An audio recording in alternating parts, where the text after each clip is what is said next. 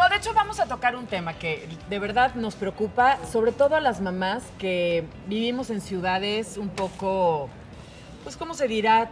violentas, tormentosas, etcétera, ¿no? Entonces, de alguna manera las mamás queremos darle libertad a nuestros adolescentes, a nuestros hijos. Claro.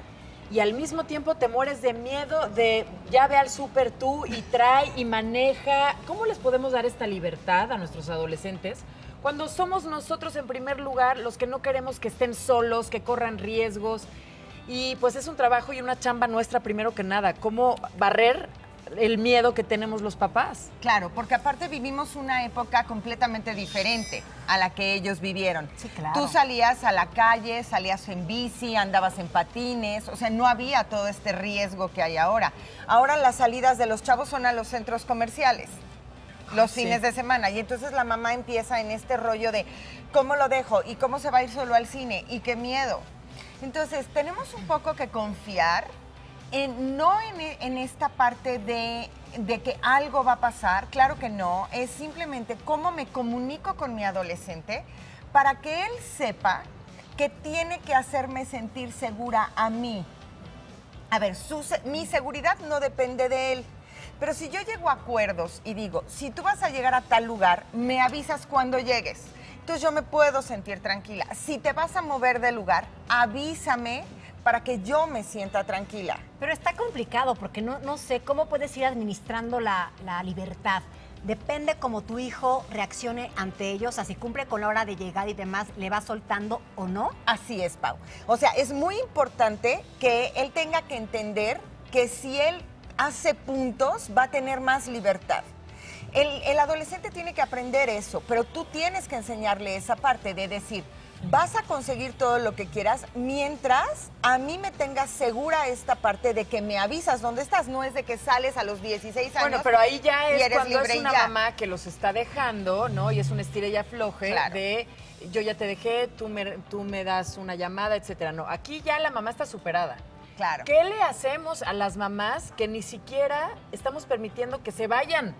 Que vayan al centro comercial, que no les estamos dando ese, esa, pero no por no confiar en ellos, sino por las circunstancias en De donde la vivimos ciudad. estamos apanicados de que les pase algo. Mira, una gran responsabilidad que tenemos como padres es enseñarles a nuestros hijos la, la parte de nosotros, cómo vivimos nosotros. Nosotros tendríamos que empezar a ir a espacios abiertos con ellos. Empezar también a convivir con ellos haciendo otras cosas que no sea todo el tiempo estar metidos en el celular o todo el tiempo estar metidos en la casa. Algo que a las mamás nos cuesta mucho trabajo es que hoy nuestros hijos se aburran. Hoy los adolescentes no les permitimos que se aburran. Si les permitiéramos que se aburrieran, nacería la creatividad. Y entonces desde ahí podemos diseñar nuevas actividades donde nosotros como papás también nos involucremos con los hijos. Pero a ver, no sé, igual, no me juzguen, no me juzguen. No vale la pena que de pronto el chamaco quiere un centro comercial y que de repente igual y se pierda o algo para que aprenda. O sea, lo que pasa que siento que los pro- sobreprotegemos Por tanto supuesto, y demás, claro. que siento que no aprenden a ser adultos y no aprenden a cuidarse. ¿Dónde está la línea? ¿Dónde está la línea que se pierda, que pierda el camión, que pierda esto?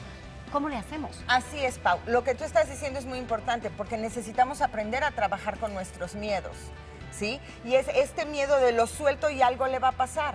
Pero lo que sí va a haber es un aprendizaje significativo Claro. del chavo. Es, si algo me pasa, ¿cómo lo soluciono? ¿Desde dónde le hablo a mi mamá?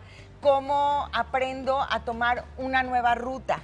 Y saber que si algo en un momento me siento en peligro, puedo recurrir a hablar con mi mamá. Es soltar, está Y fuerte. es soltar. Y entonces, ¿qué pasa? ¿Por qué? Porque tu adolescente se vuelve el sentido de tu vida.